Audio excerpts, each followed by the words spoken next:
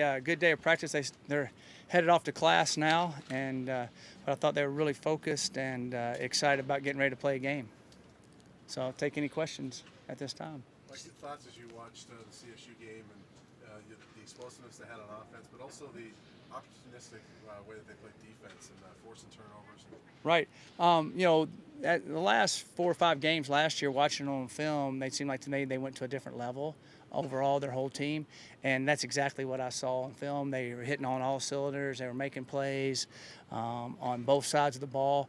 Um, and in their kicking game, I was really impressed uh, with the way they played. And, and uh, they, you know, they got a good football team, and, and we knew they'd have a good football team. And uh, um, it's going to be a really, really tough game, and uh, they played really well. How did their explosiveness on the offensive side of the football kind of affect you guys' preparation for this week? Um, we just play what we play on defense, and just hopefully we can line up and play right and play hard.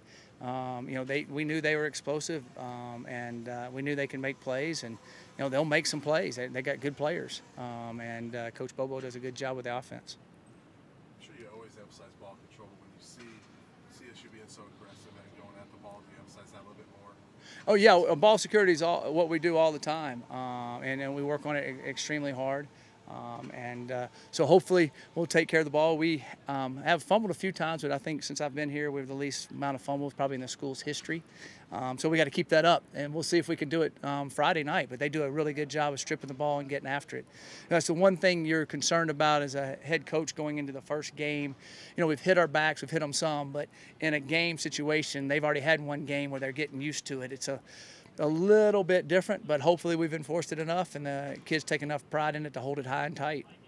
Not that you would overlook CSU anyways, but just given the final score, does that ensure that every No, we knew they were going to be good, um, and uh, I knew they would have a very, very good football team, and I knew they were an explosive offensive football team, and uh, you know I knew they were going to improve on defense because they basically got everybody back on defense. They lost a couple guys, um, but they've got all their front back basically.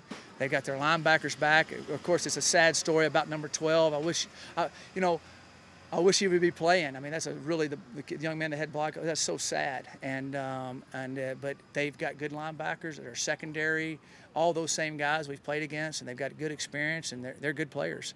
And uh, you know they do a good job on defense up there. So I think that uh, I was I wasn't surprised at all how they played on defense with their experience side over there. I wasn't at all.